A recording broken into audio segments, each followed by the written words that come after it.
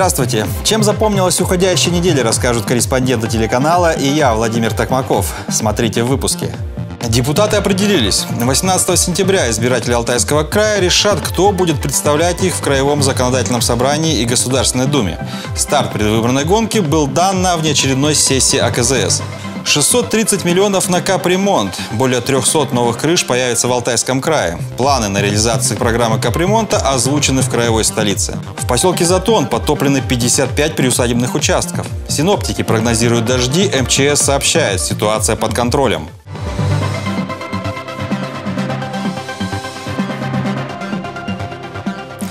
Алтайские депутаты определились с датой начала избирательной кампании. На этой неделе состоялась внеочередная сессия Краевого законодательного собрания. 18 сентября избиратели Алтайского края проголосуют за депутатов АКЗС и Государственной Думы. 34 депутатов АКЗС изберут по одномандатным округам, столько же по партийным спискам. Четыре депутата, избранные по одномандатным округам, будут представлять Алтайский край в Госдуме. Еще несколько мест в российском парламенте представители региона могут получить при голосовании по партийным спискам. Сессия законодательного собрания сегодня прошла быстрее, чем обычно. За полтора часа депутаты рассмотрели 9 вопросов. Среди них исполнение краевого бюджета на 2015 год, а также бюджета территориального фонда обязательного медицинского страхования – как отметили депутаты, все обязательства были исполнены. К тому же в бюджете выросла доля социальных расходов. Несмотря на то, что мы где-то чуть более полтора миллиарда сократили, э, сократились собственные доходы НДФЛ и налог на прибыль, но за счет работы э, краевой администрации очень активно дополнительно было привлечено 13 миллиардов рублей. Поэтому э, в докладе, что и собственные доходы, и в целом бюджет, в общем-то, к уровню 2014 года оказался выше. Главным вопросом повестки стало утверждение даты предстоящих выборов депутатов АКЗС седьмого созыва. На них будет применяться новая схема одномандатных округов, которую приняли в январе этого года. 34 депутата будут избраны по округам, столько же по партийным спискам. В настоящий момент в регионе зарегистрирован 1 миллион 888 тысяч 643 избирателя. Эту цифру озвучили на сегодняшней сессии. Сегодня мы предлагаем выборы назначить на 18 сентября депутатов Краевого законодательного собрания 7 созыва. Постановление будет э, в конце этой недели опубликовано в «Алтайской правде». После этого старт избирательной кампании. Э, уже э, и политические партии могут выдвигать своих кандидатов, ну и самовыдвиженцы при необходимости тоже могут начинать выдвигаться, собирать подписи. Еще одним результатом сессии стало решение о создании общественного совета в сфере закупок при АКЗС. В него войдут независимые эксперты. Также депутаты подвели итоги работы в первом полугодии над проектами федеральных законов. Из 25, на которые депутатам предстояло дать отзыв, они поддержали 13. В частности, среди них законопроект, который накладывает ответственность за несоблюдение требований безопасности движения при строительстве дорог. Алена Февраль, Анатолий Фукс. Новости.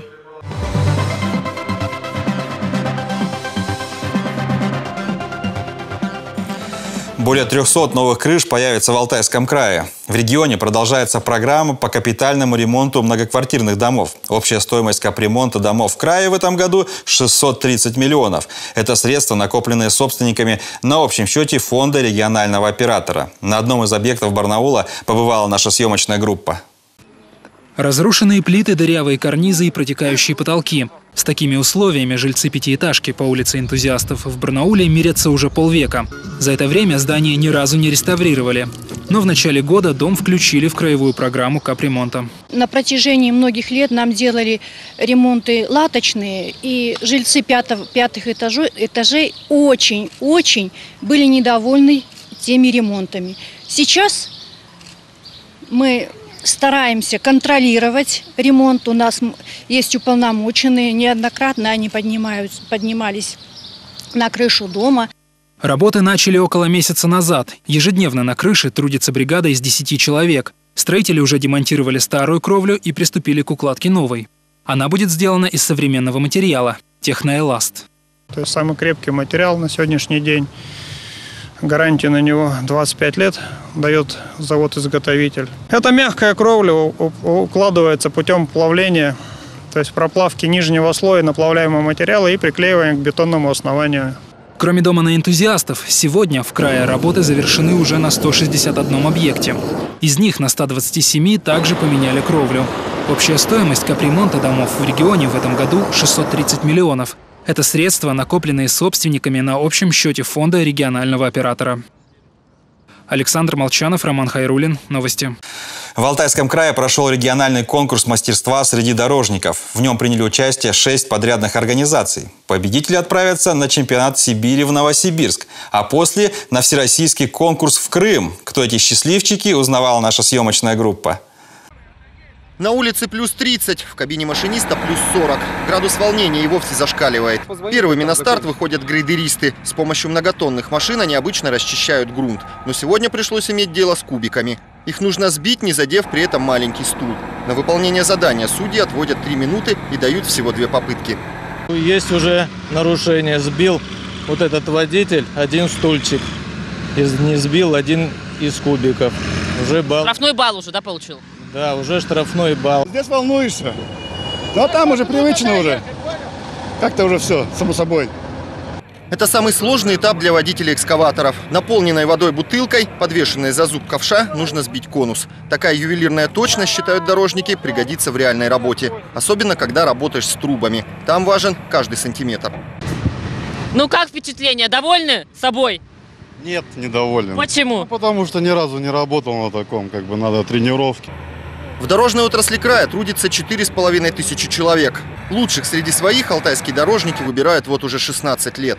Мы ждем, самое главное, это у нас общение, общение людей, наших дорожных профессий. Это бульдозеристы, гридеристы, это машинисты погрузчиков, водители автомобилей. То есть вся линейка дорожных рабочих, которые делают наш край лучше то, что они умеют делать. Но сегодня они между собой посоревнуются, кто из них, скажем так, лучший профессионал.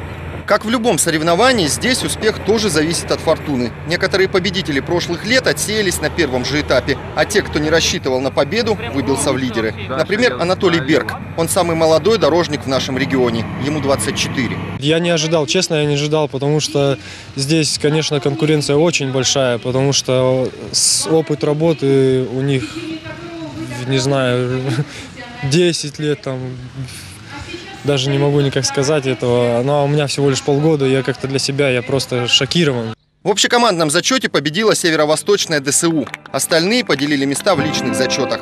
Победители получили грамоты, призы и подарки от спонсоров. В июле лучшие дорожники отправятся на чемпионат Сибири в Новосибирск, а после на всероссийский конкурс в Крым. Дмитрий Гладких, Дарья Масалова, Дмитрий Козерлыга. Новости. Уровень воды в Аби превысил критическую отметку. Вода продолжает прибывать. На особом контроле барнаульский поселок Затон. Здесь подтоплены 55 приусадебных участков. Жилые дома не пострадали. На месте работает оперативная группа МЧС. На случай эвакуации готовы пункты временного размещения. Пока ими никто не воспользовался, заверили спасатели. Однако на территории Алтайского края Республики Алтай движется циклон, который принесет с собой дожди и грозы. А это может ухудшить обстановку. Оставайтесь с нами и вы узнаете. Замкнуть Золотое кольцо. 180 миллионов рублей направлено на строительство нового моста через Чирыш. Балет по Шукшину. Впервые, по рассказам Василия Шукшина, ставят балет. Премьера состоится в Барнауле.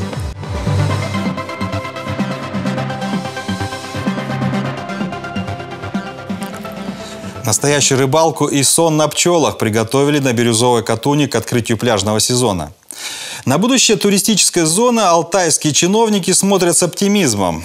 По данным глав экономики, за два последних года на ее развитие направили 2 миллиарда рублей. Ежегодно ее посещают 400 тысяч человек. Турпоток за последние годы увеличился в два раза. Подробности в сюжете. На Бирюзовой Катуне в эти дни аншлаг. Жара гонит туристов на природу, к воде, чистому воздуху и хорошим впечатлениям. На стоянках автомобили с номерами почти всех сибирских регионов – Новосибирской, Омской, Томской, Кемеровской, Иркутской областей. Есть гости из Красноярской Тюмени, а также из Центральной России из Урала. Они обычно отдыхают на Алтае неделю, а то и две. На этих выходных на Бирюзовой Катуне состоялось официальное открытие пляжного сезона. Сегодня открывается сезон. А, очень большое количество человек с разных регионов. Все хотят посетить, посмотреть, попробовать новые места. И у нас здесь есть и лежаки, и катамараны, и горки вскоре откроются. В общем, все люди довольны, погода замечательная, всех ждем. Природа, красота, горы, горы и песок, конечно, это вот э, другое сравнение, там есть э, в Эмиратах песок, здесь горы. Вот, вот этот, э, здесь воздух чистый. Люди, приезжайте сюда. Любители прекрасного оценят современную картинную галерею. Для туристов, приезжающих за гастрономическими впечатлениями и экологически чистыми продуктами, знаменитая пасека, где можно отведать медовухи, запастись десятками сортов меда и пройти экзотическую терапевтическую процедуру «сон на пчелах». Ведется строительство баз с недорогими номерами, инвесторы обещают построить настоящий аквапарк. Бирюзовая Катунь сегодня единственная в своем сегменте действующая турзона с реальными инвесторами и инфраструктурой. У нас, во-первых, э, появятся гостиничные комплексы. У нас зашел резидент, который будет э, строить парк э, развлечений и а, аквапарк. А также у нас зашли такие узконаправленные резиденты, которые будут развивать скалолазание и альпинизм, то есть именно в широкодоступном формате. В этом сезоне на Бирюзовой Катуне появилась настоящая рыбалка. Любителям семейного отдыха организаторы предлагают посидеть с удочкой на берегу искусственного озера, в которое на днях запустили 10 тонн рыбы, от окуней до сазанов. Разместиться можно здесь же, в современном гостиничном комплексе. Отметим, ежегодно на Бирюзовой Катуне отдыхает почти 400 тысяч человек, и за последние годы турпоток увеличился почти в два раза. Краевые власти видят будущее турзоны в постоянном и качественном развитии.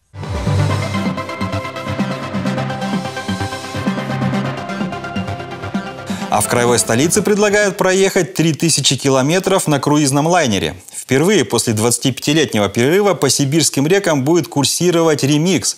В рамках пятидневного тура теплоход причалил к пристани Барнаула. На корабле побывала наша съемочная группа.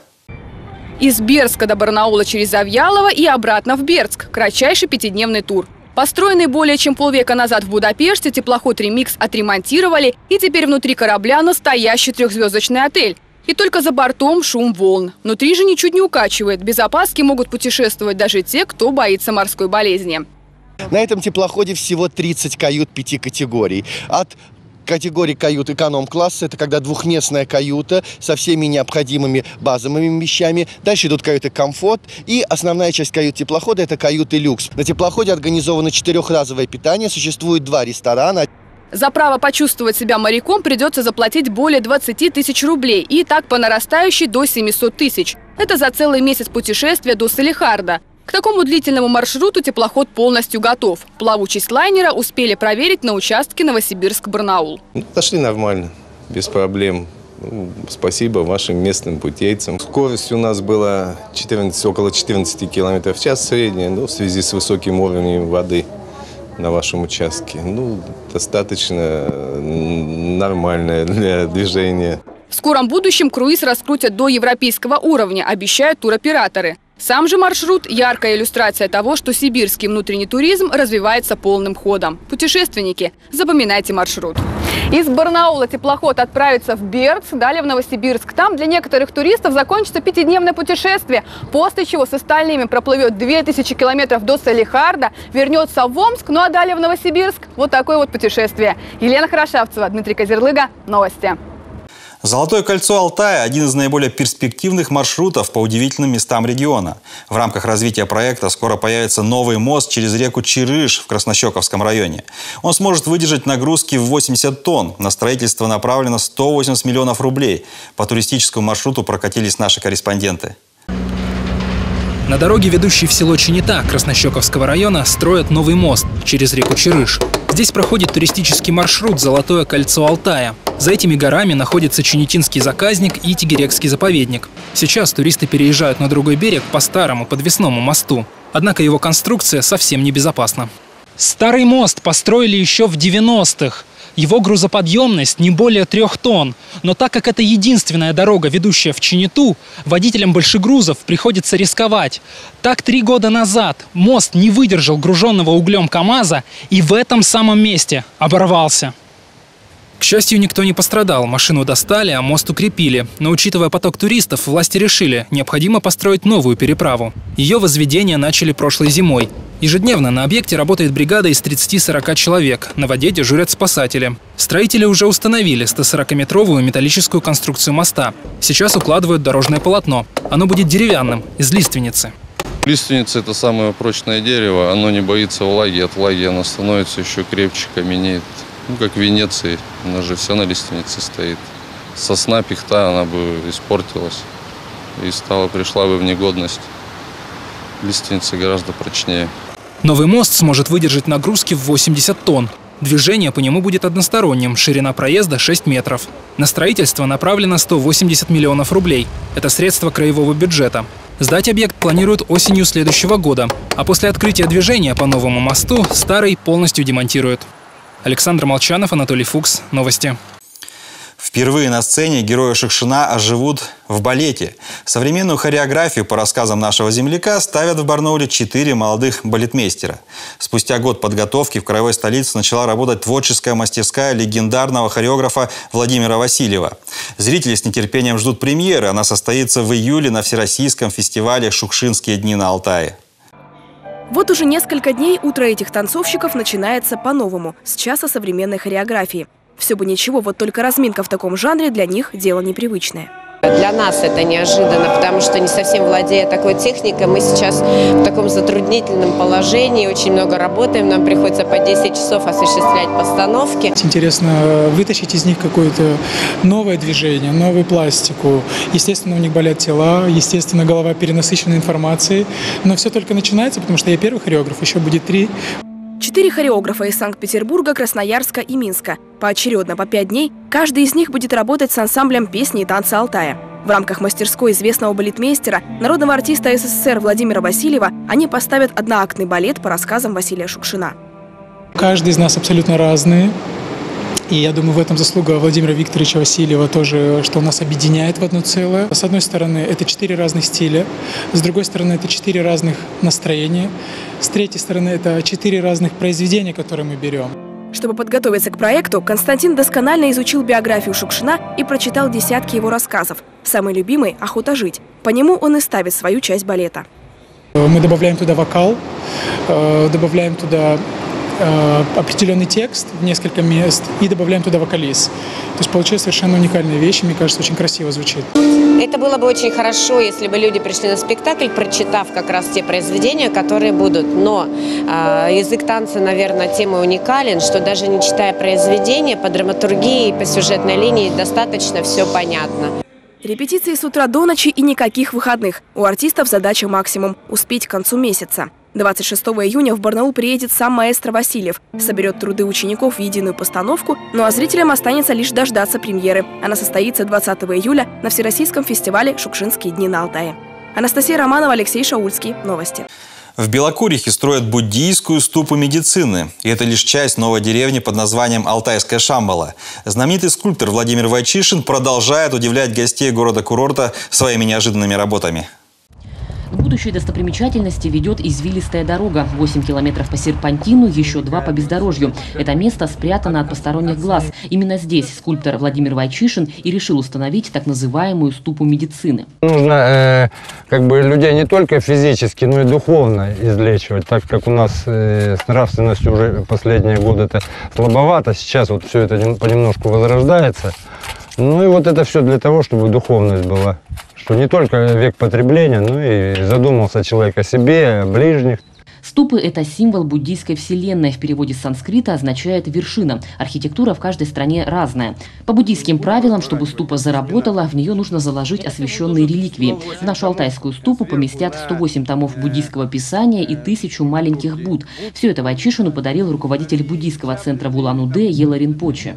Вот эти культовые сооружения вот он подарил для того, чтобы в Алтайском крае всегда был мир, благополучие э, э, и, и, и, и финансово. Да? Это защита края. Вот эти два объекта, это будет защита Алтайского края. На вершину ступы водрузят статую Будды из оникса высотой 1 метр. Открытие запланировано на 10 июля. Впрочем, этот объект далеко не все, что хочет построить Вайчишин в Алтайской Шамбале. Так он назвал новую деревню в окрестностях Белокурихи-2. Каждый месяц он строит по одному арт-объекту. На входе туристов встречает огромный стул, а на нем маленький мыслитель. Пройдете чуть дальше и увидите телегу, груженную огромными цветными карандашами. Это поляна художников. Жаль, порисовать такими нельзя три огромных карандаша, а вот этот маленький растет еще, четвертый. Белокуриха 2. Вот он, Б2. Это все из дерева? Это все, да, деревянное.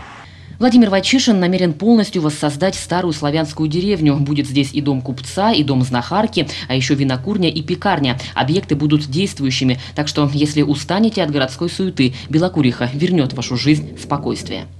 Дарья Масалова, Сергей Седых. Новости. Такой была неделя. Спасибо, что провели ее вместе с нами. Хороших выходных и до встречи.